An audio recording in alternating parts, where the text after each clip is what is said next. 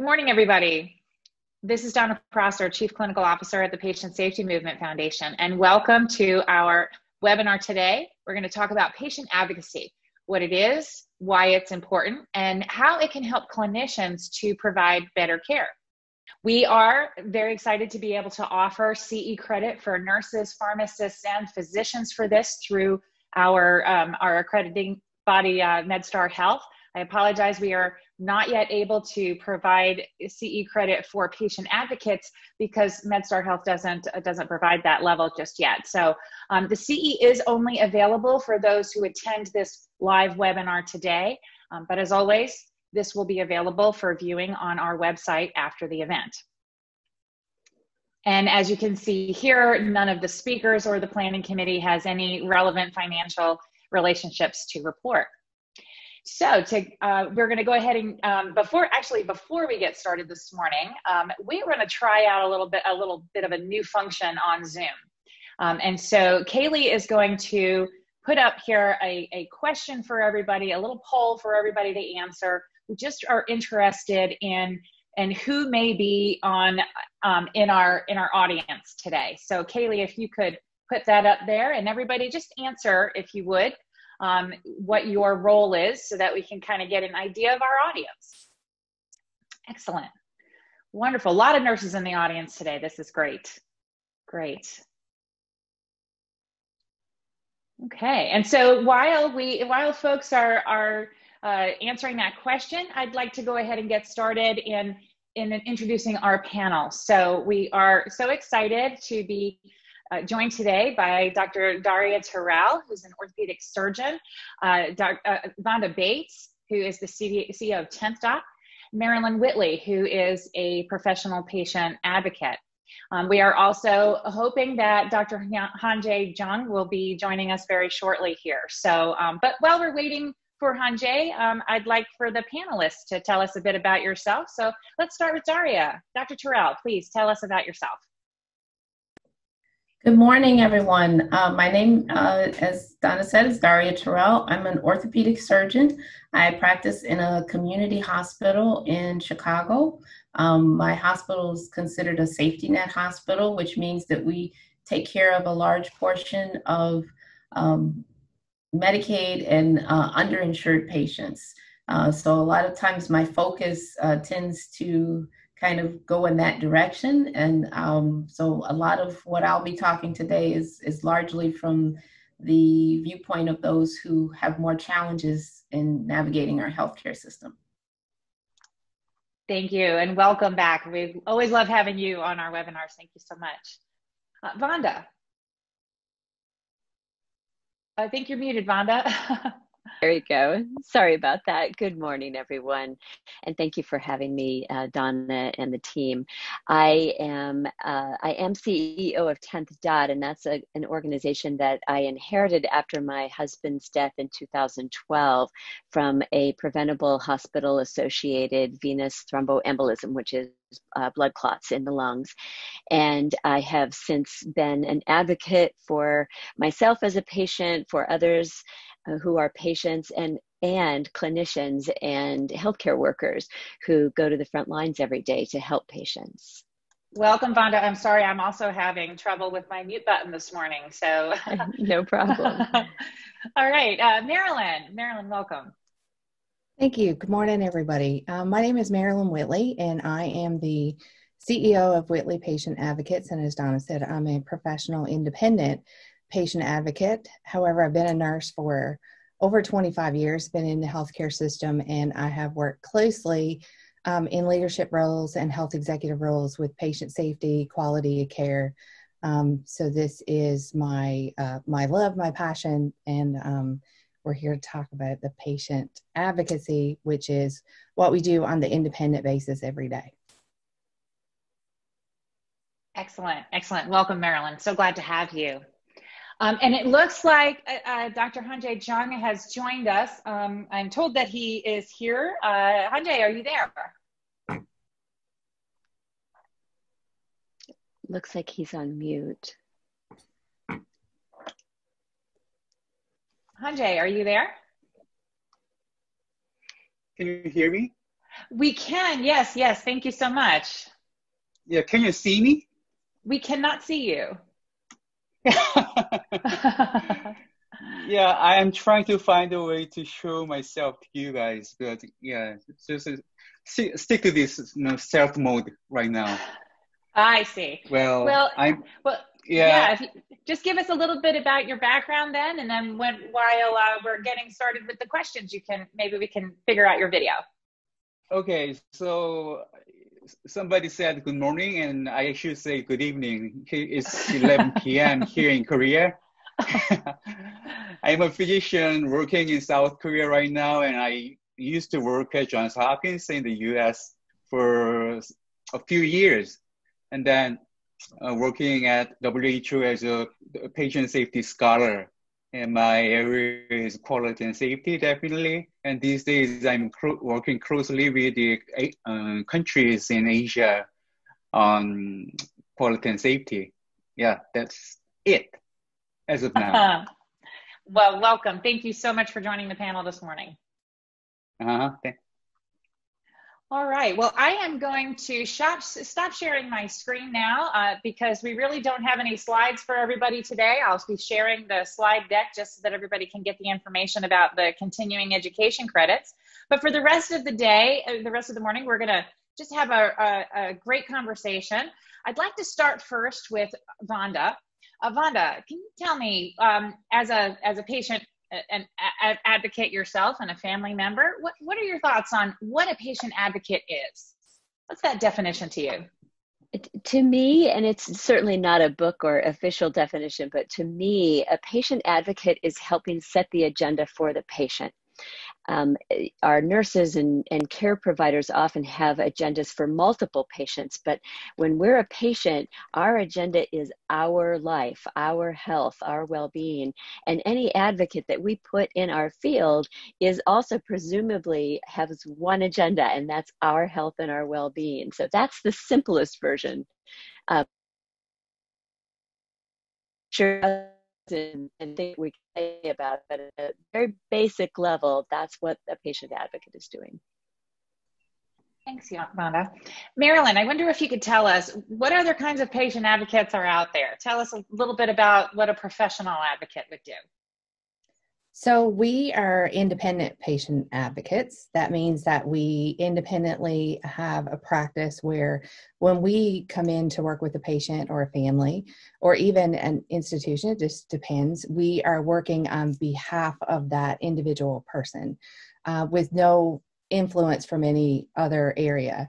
And then there are other advocates that are out there that work for institutions, like there may be some that work for health insurance companies. They some of them have um, patient advocates that will be assigned to your case and can work with you if you have some um, you know complicated medical bills and stuff and then there are some hospitals that do a really good job and they have throughout their systems their health systems they have individual patient advocates that you can access that if you're there and you have some um, again complex issues or need they will assign you a patient advocate. The only di- the difference is the bigger in the big picture is that these individuals work ultimately for the the company itself whether it be a health system or an insurance agent um, like an agency or a company however myself and our company, just like Vonda said, we are independent, so we work wholly and solely for the patient or the family, and that's what we do.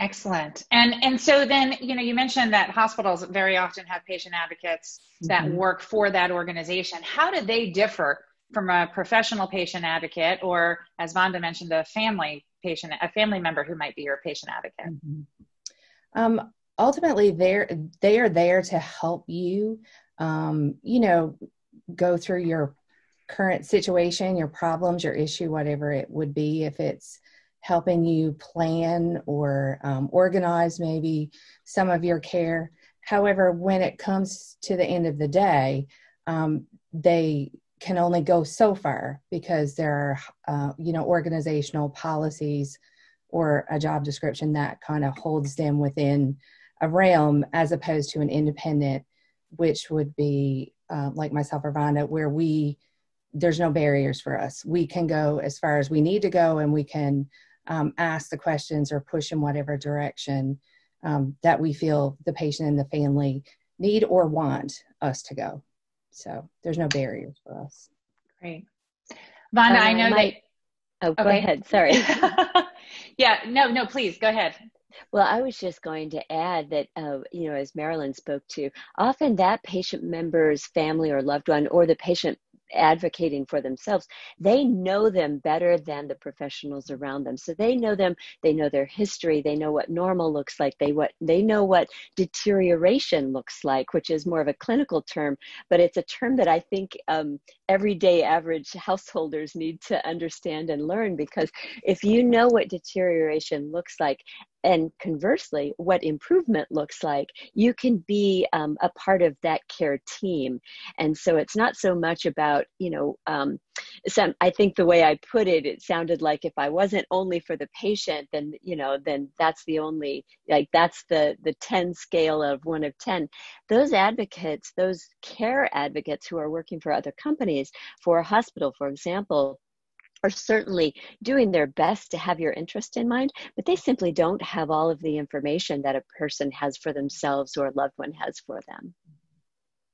That's a great point. Thanks, Vonda. And now I know that you are very active on patient and family advisory councils. What's the difference between a patient and family advisor and a patient advocate? Are you asking that question of me? Yes, ma'am. Um, would you repeat the question? And I, I want to be clear. Um, I actually don't sit on an actual PAC, although I sit on several committees, um, statewide committees, organizational committees, and things of that nature. So repeat the question, and yeah. I'll, I'll be sure to answer it yeah a lot of a lot of organizations have patient and family advisory councils like you were mm-hmm. mentioning mm-hmm. right so and there are folks that sit on those committees for those hospitals how do they differ then from a patient advocate Got it. Thank you. So they're really looking at the design of care is the way I think of it. They're way upstream. They're looking at like making sure that there's access. They're making sure that if there's new technology in the system, that it has a patient lens um, before it actually gets into the hospital and is used on patients. Those um, that upstream and important. I ask questions that the clinicians and healthcare workers haven't thought of yet. And that's why they bring me to the table. That's why they want the patient there because we think about things differently.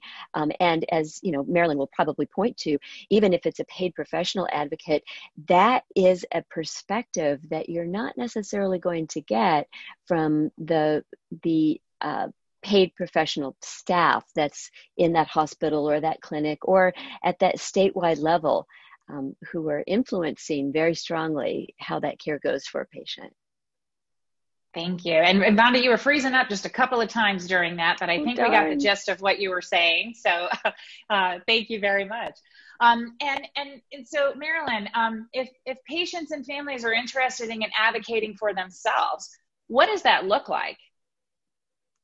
Um, well, well, I think there's there's different levels in advocating for their for themselves, Donna. Um, you know, we talk about there's there's lots of barriers that potentially will bring a person to needing an advocate, you know, or advocating for themselves, and it just depends on what type of barrier they um, they approach. But again, I think it's situation specific. You know, there's a lot of times when individuals can advocate for themselves and continue to advocate for themselves when the barriers are not too heavy or they're not too strong and they can keep going and they learn as much as, as they can about their current diagnosis or situation and they can you know ask questions and get answers and take notes and you know and you can continue to advocate for yourself i think um, when people want to pull in an advocate or get an individual, a care partner, whoever it is, their family to help them advocate for themselves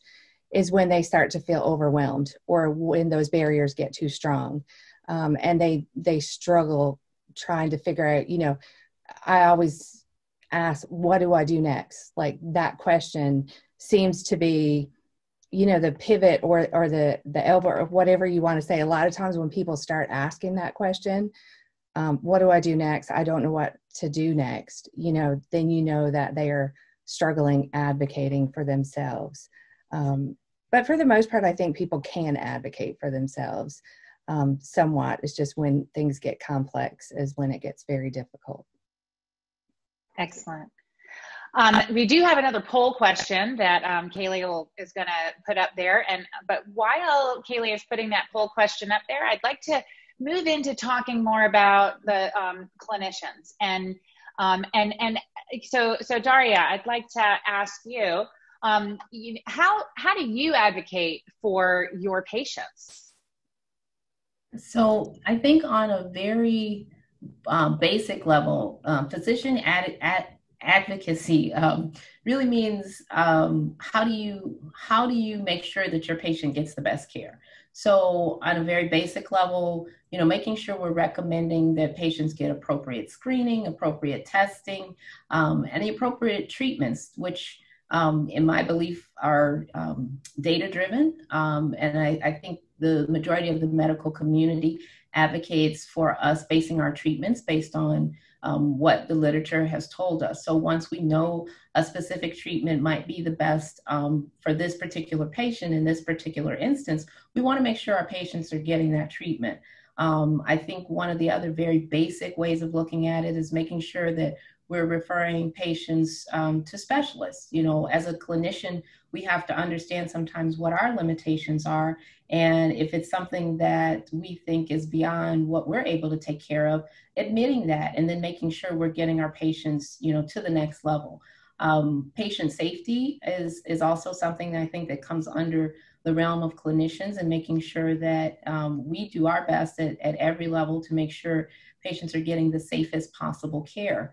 Um, but then I think as physicians, there's a very granular granular level um, that uh, for patient advocacy as well. And that is that you know advocacy really means addressing root causes of some of the problems and some of the disparities. So, for example, on the south side of Chicago, um, we've noticed that over the last, I would say, about 20 years, we've had a number of hospitals closing. And this is also um, a geographic area that sees disproportionate health outcomes. So if you have less people taking care of patients who are already uh, disadvantaged in terms of their health outcomes, then that poses a real problem. So there are a number of um, providers and systems that have come together um, to try to advocate on a um, state and, and, local levels um, to try to improve access to care. Um, Marilyn touched a little bit about how the, the, the scope of practices changes what advocacy means. So if you're in private practice, I can choose to advocate for patients who um, maybe don't have insurance or can't pay as much. Um, and I can make that choice about who I see in my practice as opposed to if I work in a larger group or healthcare system, I may have to take something to a committee or the hospital has to vote on how we change things and maybe becoming a part of a committee that makes those decisions. Also, looking at um, what our landscape is and do we need to change how we allocate resources. If I see a lot of patients coming in in later stages of breast cancer, then maybe I need to be the one to say, hey, in our community, we, we probably need to address more efforts towards screening so that we catch women a little earlier and we're not seeing patients coming in so late. Um, and also, I think trying to help direct patients to um, community resources that can help them with some of the social determinants of health, referring them to agencies that may help them with food insecurities or transportation, um, even employment at times, because all those things play into your overall health. And I think the, the last part, or actually maybe I shouldn't say last part, um, physicians are also involved in um, larger organizations, the American Medical Association, NMA, um, and then those those organizations take positions that help. Um, and as physicians, I think we also have to have a role in teaching medical students and teaching those that are in training the importance of advocacy because sometimes our, our medical system doesn't um, teach the importance of those things.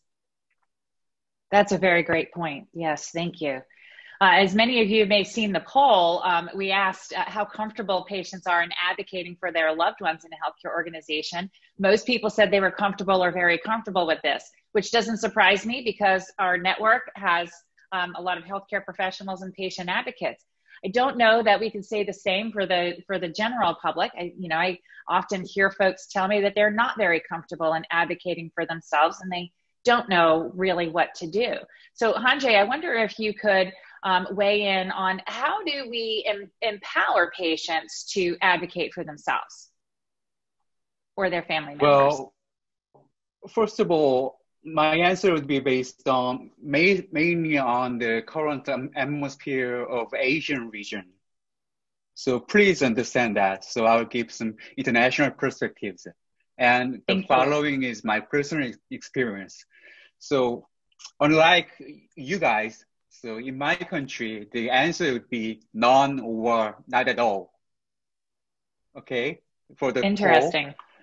Yeah, and when I first began to try to empower patients to advocate for themselves, I found that they were not aware of what they need to demand. In such a situation, advocacy could not exist. We all know that. So the strategy that I took was to write a very patient-friendly, easy-to-read book called Hospital User's Manual, which, be- which became a national bestseller in the book, I described the counter error measures such as checking patient ID. So here's the tricky part. From my experience, I knew healthcare professionals, in, at, at least in Korea, best keep the rules such as washing their hands before seeing patients. When healthcare professionals believe patients know the rules that the care professionals need to do. So by providing information to patients not the professionals. The compliance of safety rules by healthcare professionals increased a lot, and patients became more vocal, recognizing that they had the rights to advocate themselves. So in sum, although I did not use the terminology ad- advocacy in my country, actually I brought the concept of advocacy to the Korean healthcare environment by providing information to patients. That's how I empowered Korean patients. And and uh, so your your book then is Hospital Users Manual. Um, uh-huh. and we we will definitely put a link to that in our uh, in in our description of this video. So thank you so much. And oh, so then, thank you. And and so Hanjae, I'm curious in in Korea, do you have professional patient advocates? No, definitely not. Interesting. Yeah. Is that an in area that question, no, no, no, no, no. Actually, there's no such area like patient advocate. Yeah. Probably in the next question, I'm going to answer for that question. Yes. Yeah. well, let's go ahead then. When, when do you think, when should patients seek professional help then? Well, and with it's, it's simple. It's simple, I think. Complex and expensive are the two key words, I think. First, I believe the advocacy in the US came into being because the US healthcare became too complicated. So naturally, patients needed and sought help to navigate through such complex healthcare. And this is how I understand the genesis of patient advocacy in the early days. Second, from cost effectiveness perspective, if healthcare service is too expensive, so that getting help from patient advocate can lessen the economic burden of patients, it's logical to seek for professional help. The reason why I mention such patient advocacy 101 is that here I see the future needs of patient advocacy in nations other than the US, including Asian countries like Korea. Healthcare in most countries is getting more complex and ex expensive. Medical tourism breaks the borders among countries, adding more complexity. Such changes in the healthcare environment will ignite and accelerate patient advocacy in many countries, including Korea. And I believe most countries need to adopt the concept of patient advocacy soon. That's my answer. That's very good. Thank you. Marilyn, I wonder if you could address that, you know, for countries that do have professional patient advocates like the United States, At, at what point do, should patients seek professional help from, an, from a professional advocate? Well, from a professional, I mean, I can attest to um, the two things are, you know, um, that Hanjae said are exactly the most popular ones that we get referrals for as an independent patient advocate are um, because of the complexity of care and then the expense, either um, wondering where the money is going to come from or how do we, um, you know, what is the expense going to look like. And then the other p, the other barrier I think that we frequently see is communication. Um, patients get very and families get very overwhelmed and very confused because they don't understand what's happening and i and that is that's a popular one and it's probably one of the most easiest ones to fix as an independent patient advocate because a lot of times it's just the medical jargon you know the medical terminology the words understand the education piece. So those we can step in and, and help patients and families understand what they're that's you know what's actually happening to them and then where they can go or resources they can get to um, and that kind of thing. And then there's two other barriers that we see a lot of that patients come to us and families for help is if they have other personal things going on excuse me in their life and being able to take care of a loved one along with some of the other personal issues, which may be an illness of themselves or having a large family or distance, like the children of elderly um, not living close to their parents, and then they want a, an advocate to bridge. And then the actual stress of the illness.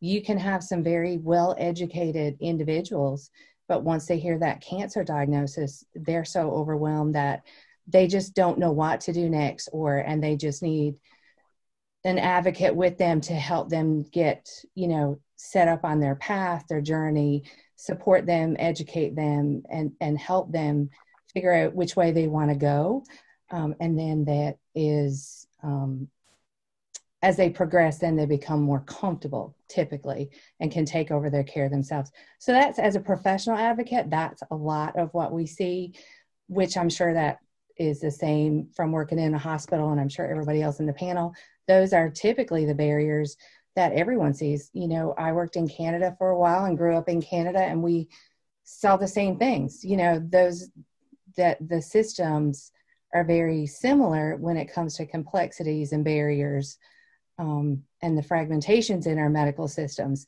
that cause individuals to seek professional independent patient advocates. Absolutely. Uh, Daria, I, you know, I, wonder if you could share your perspective as a clinician when when patients advocate for themselves or have personal or professional patient advocates. How does it help physicians? I think you know at the heart of medicine, as a physician, you want your patient to do well. I mean that's why most people go into healthcare. You want to see people get better, and so anything that will help foster that and bring effective uh, treatment and effective communication is to our advantage, and that's what we want. And I think patient advocacy is one of the best ways to do that. Um, I think at the heart of that is empowering the patients, as we talked about. And a big part of that is education. At a very basic level, we have to make sure patients understand what their diagnosis is, what treatment we're, we're recommending, and why that treatment is the best for that patient. And, and to some extent, we do some of that explanation. And then, as Marilyn said, it can be um, kind of fostered by family members or other uh, patient advocates within the healthcare system. But at the end of the day, when you make that effort as a physician, it shows your patient that you care and it shows them that you're trying to have them be a part of an effective relationship. And that's what's really needed to make the healthcare system work if I trust my clinician, I'm more likely to be, um, I don't like the word compliant because sometimes that's sort of subjective, but I think it fosters more collaboration. I like that better. I think collaboration is a, a, bit more positive. So if we have this, you know, if we, if there's a real relationship, if I feel like this person is recommending this because they really understand me, they understand what's going on, I'm more likely to be compliant. Conversely, if I, if I trust the clinician, I'm also more likely to be honest. So if I'm having blood pressure issues and my and I've been prescribed a medication, but I'm not really taking the medication, and I come back to the doctor my blood pressure is sky high, the doctor's going to say, "Oh, well, that one didn't work. Let me prescribe another one, or let me prescribe two or three more." But if I say, "Hey, doc, you know, I got to be honest with you, I wasn't really taking the medicine," then that helps me be a better clinician. So I think you know the communication and forming the relationship is essential. And then as as physicians, I think there's another side of what patient advocacy really means so if we know that there are certain conditions or certain um, situations, e- either that are prevalent in the community or within medicine in general, and sometimes those those conditions are not known to the general public, I think it is our duty as physicians, and that's how we advocate for our patients in, in making sure that there are programs, there are protocols, there are things directed to that. Let me give you an example. Um, we do a lot in our hospital around dental health. And it took talking to the community to find out there was a, a staggering number of children who don't even have a toothbrush in the home. So once we know things like that, then it helps say, okay, we're going to have a campaign about dental health, or like the National Medical uh, Association has adopted uh, prioritizing preventive medicine as an initiative. Um, the American Academy of Orthopedic Surgeons adopted a policy on um, distracted driving aimed at teenagers. So sometimes there are, you know, subtle education messages that need to be put out. And I think that is another way that physicians advocate for patients. Excellent. That is a very, very great points there, Daria. And I saw Vonda nodding and saying, yes, yes, yes. Uh, you know, we need to you know if patients if patients do have that relationship with their physician and they can collaborate coordinate uh, together, then obviously that helps that helps our clinicians to do their job. Vonda, I wonder if you could weigh in on uh, on patients. How does that in, in, impact patients and families? Uh, thank you. I, I appreciate that uh, because as I listen, you know, I, I think the the patient advocacy let's just uh, focus in on the point of care and then the advisors. I'm i'm seeing the chat here and there is there are sort of two areas and and i think it's important to separate them. Where um, dr terrell is speaking to is so important because there is this when we look at general popular health, the only thing we can do is generalize. We can't really get to the very individual needs of that particular patient at that particular time with that particular diagnosis or what have you. And I think the advantage of a patient advocate is um, to help make that bridge. And I think Marilyn even used that word it is really important. I think about our, we have a grandson who, from birth, has had um, his bar is going to be different than his brothers, for example. So we have two grandchildren, and their bars are very different. If I generalize and try to meet in the middle, both of them are going to have a difficult time with their care. However, if I generalize and I meet each one where they are, then I'm able to actually navigate what good healthcare looks like for each of them, which is a very, very different equation. And so I think it's really important for us when we're at the point of care to really get as much information as we can about what a person's uh, what they see as good. And I'll just take the example that Dr. Terrell just mentioned about me- taking medications. If if a medication is prescribed and that medication is not taken, there could be another question in there about, well, let's talk about taking medications. Tell me what your experience is of that. And that is the role, I think, of a patient advocate is to really be right in there with the individual needs along with what that doctor or that nurse knows in more general terms. That's a very great point. Um, Hanjae, um, you know, you you wrote in your book about um, about how patients can advocate for themselves and patient safety issues, but what kind of response? I'm curious, especially in Korea, what kind of response do patients receive from clinicians when it's perceived that maybe they're second guessing their care? Oh, I'm sorry. The last part was broken. What did you say? Oh yeah, yeah. So so yeah. What what clinician what how do clinicians typically respond to patients who are advocating for themselves? What kind of responses do the do the patients receive from those clinicians? Well, probably my answer will surprise you guys. So the thing is that in in my country and many Asian countries, clinicians are the most difficult barrier, the most important key barrier that discourage uh, advocacy. So regardless of my book, okay, the thing is that even when even when patients and their families advocate themselves, their requests are more often than not ignored by clinicians. Sad but true and I'm living evidence. So, well, I lost my mother to cancer a few weeks ago and kept her bedside always when she was hospitalized. And I am a physician, you know, and the doctors in the hospital even knew it, even knew I, I'm a physician. Well, although I asked so frequently, no single clinicians checked my mother's ID no clinicians washed their hands before they touched my mother. So I ended up stopping asking them. Yes, it was. Well, I should. I want to say it's a phenomenon called learned helplessness at a population level in Korea, and usually clinicians cause the situation. Oh wow, Hanjae, I'm so sorry yeah, for your loss. Uh, thank you. But at any rate, is, isn't it quite different? The situation is different from US? You know, that's a really great question. Uh, Daria, I'd love for you to weigh in on that. Is, is the situation different here? Do you think that clinicians are more open to patient advocacy here?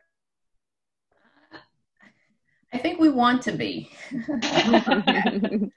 it's honest. and, and I, I, guess I would have to say, honestly, some more so than others. Um, and, and so, what does that really look like? That means you may need to take a little bit more time to explain things. That means you may need to make a phone call to a family member who wasn't present to explain the treatment, just so that family member can help um, the the patient be more effective in their treatment. Um, I think a lot of it on our part requires patience and sometimes that's not always the strong suit of, of physicians um, I, and, and i say that just not only in dealing with our patients but also um, when we're dealing with those that are underinsured as we like to use the terminology sometimes it requires a tremendous amount of patience to advocate for the treatments you want your patient to have there you may recommend something that then gets denied and then that is uh, 20 pages of paperwork, 17 phone calls, uh, some more denials, some more paper. Right? But all of that, if you don't do it, you know, doesn't get your patient the best care. So there's that part where you have to have patience um, despite the obstacles in the system, and you have to really be the patient's advocate. Say, you know, this is the treatment that I know is the best for this patient because of their unique set of circumstances, and then you have to advocate for that. Um, and then, like I said, being open to um, family members, you know, explaining things maybe a second time.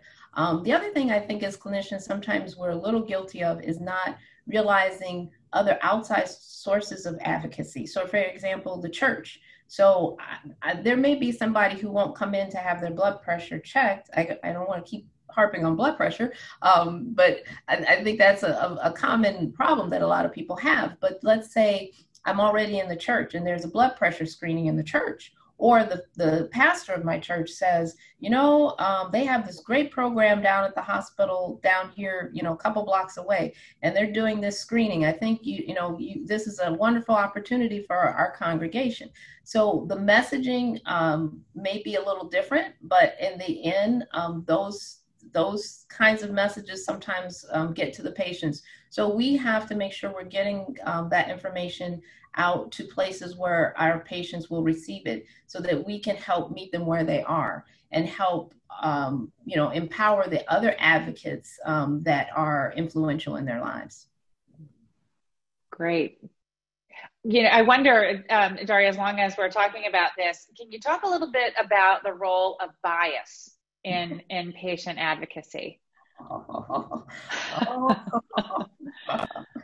um, okay, so um, I, I, will I will start with this. I have learned that, uh, or I've come to the realization that I think there is a major flaw in our healthcare system. I know that surprises everyone. That's a shock, um, as especially when we're dealing with the Medicaid population.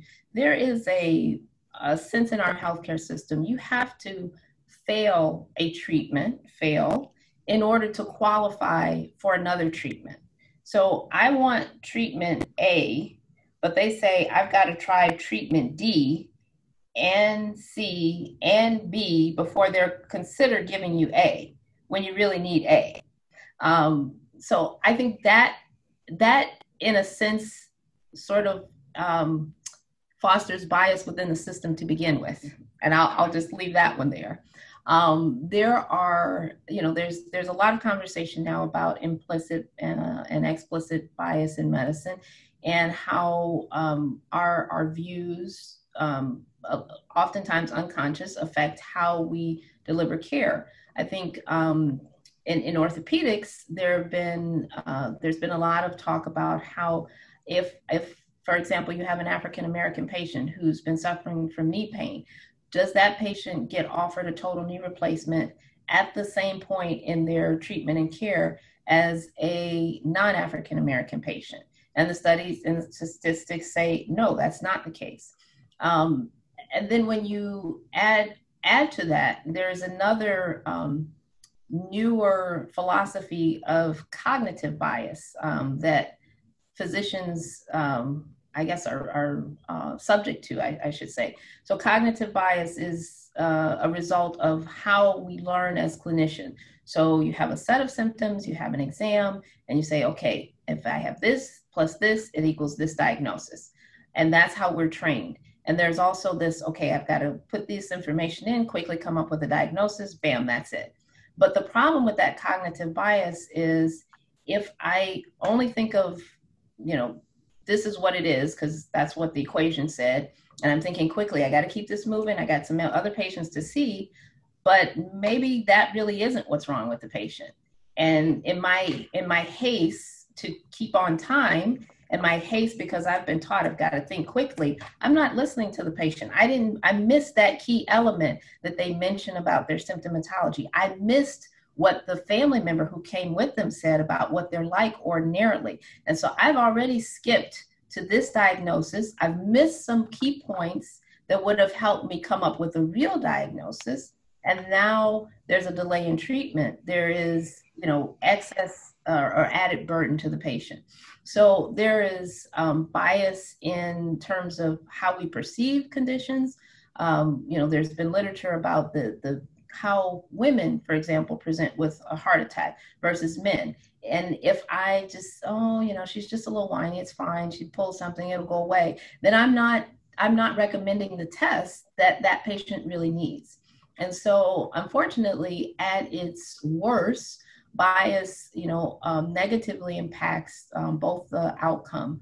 Um, and then I, I, think this concept of cognitive bias that um, that is sort of inherent in the training of physicians um, is, is really something that we probably need to kind of work back a little bit at the level of training and, and really um, deal with.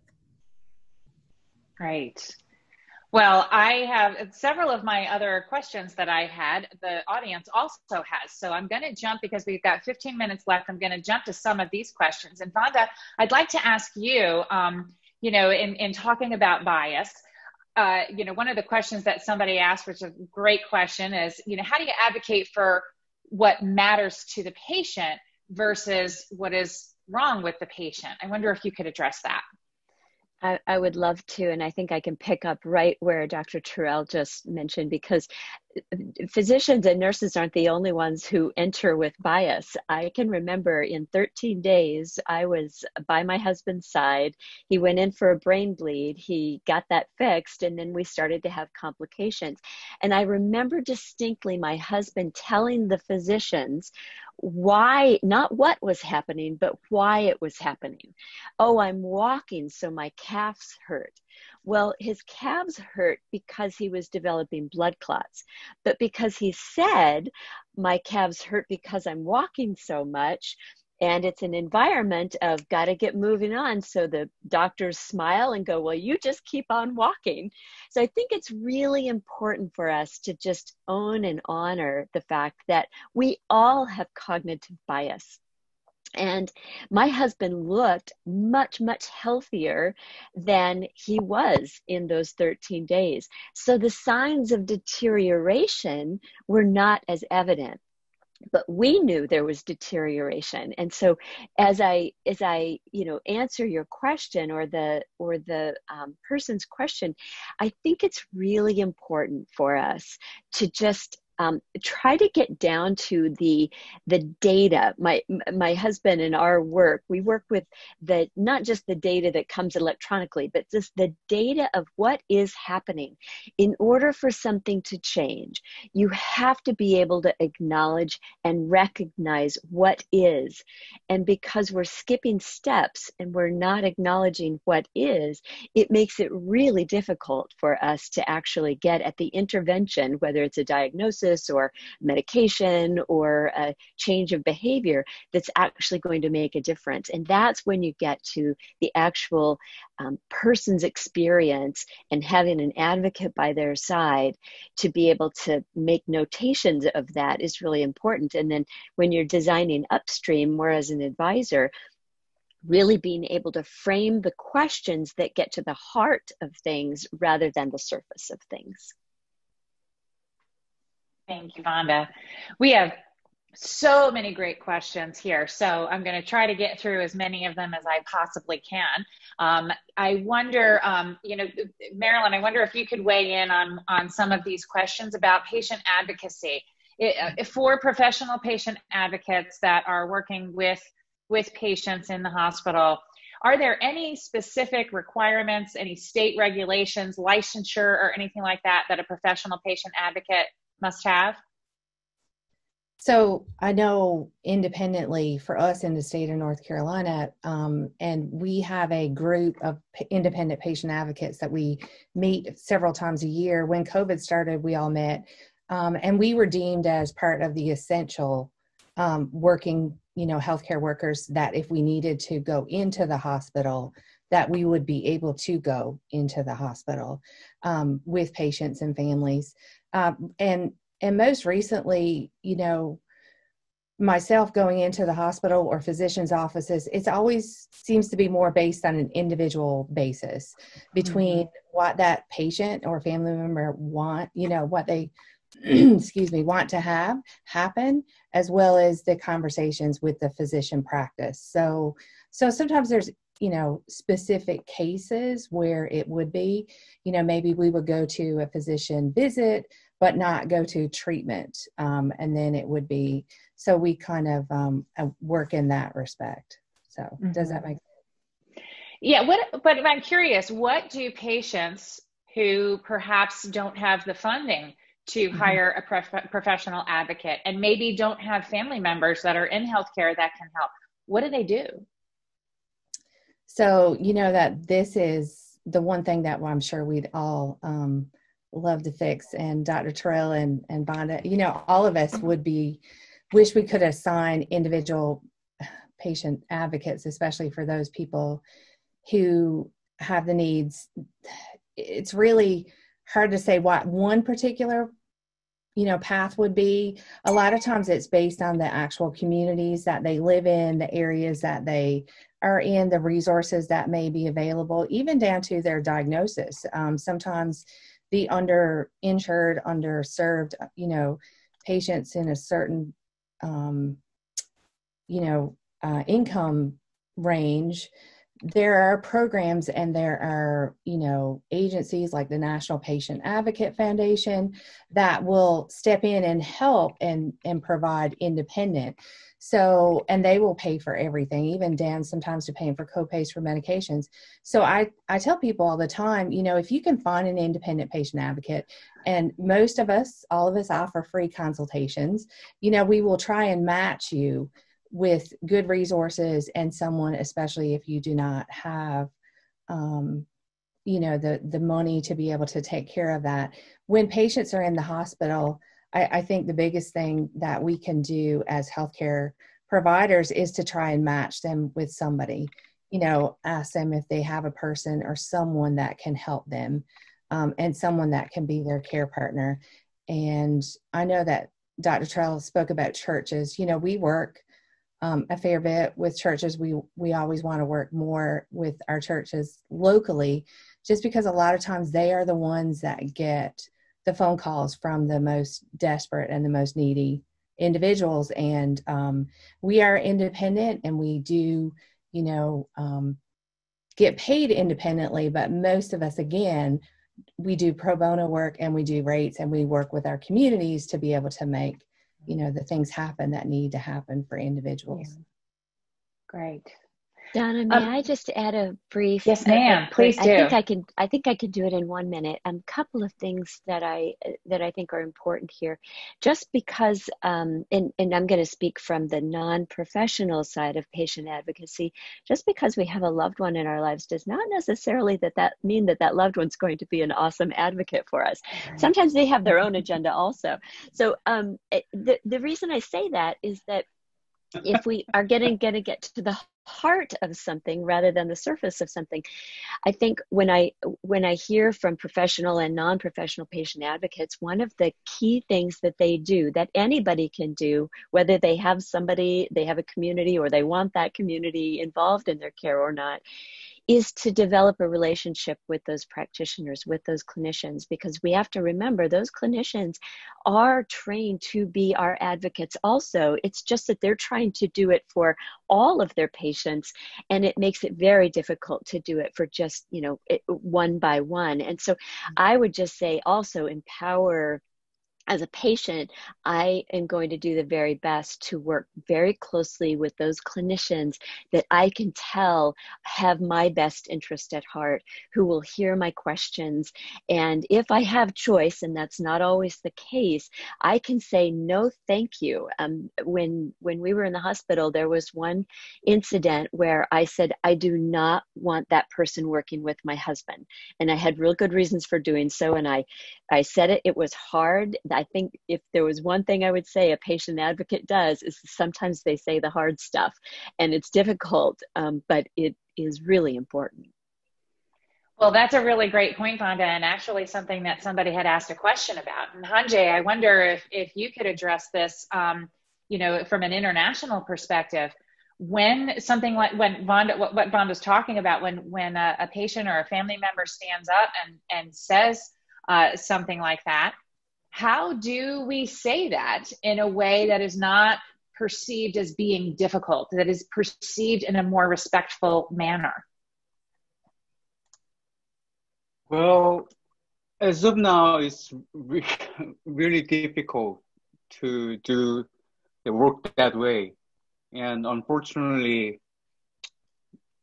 at least in my country, it's, I, I should say it's, it's not working. But but I still see some.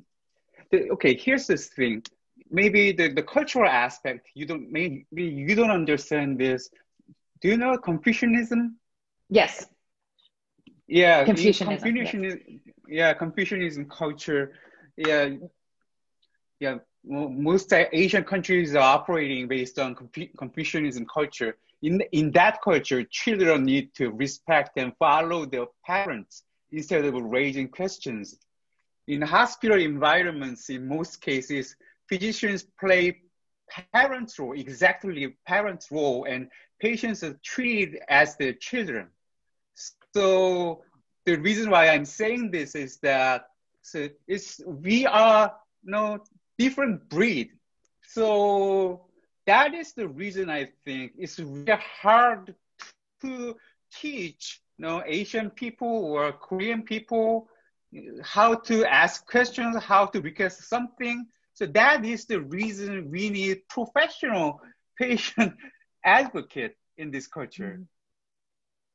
Very interesting. And and Vonda, I wonder from your perspective, I know you you know you, you uh, have had many opportunities where you've had to be that that individual. What how do you say these things to professionals in a respectful way?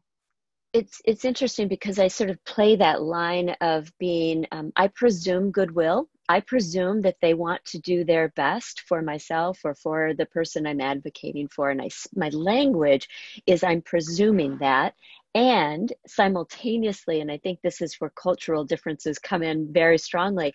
I'm very direct.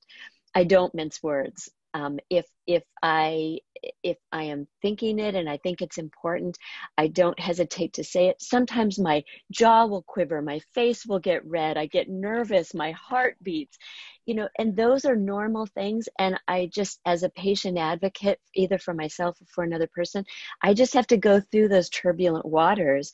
But I do it with the loving spirit of we're in this together. There are certain words that I think I think we should publish a list. Maybe Marilyn and some of uh, there are several people here who this is their field. We should publish a list. Like these are the words that will help that listener receive your advocacy in a way that reminds them that they are also um, on your behalf and that we seek. I, I was just on a diagnosis recently, and Helen Haskell used the words um, co-production we're in a co-production here and so let's co-produce this this health and well-being and um, and that takes you needing to get to know me as a patient or the person that i'm advocating for Anna, can I just make? Yes, I was just gonna. I was just gonna ask you, Daria. Thank you.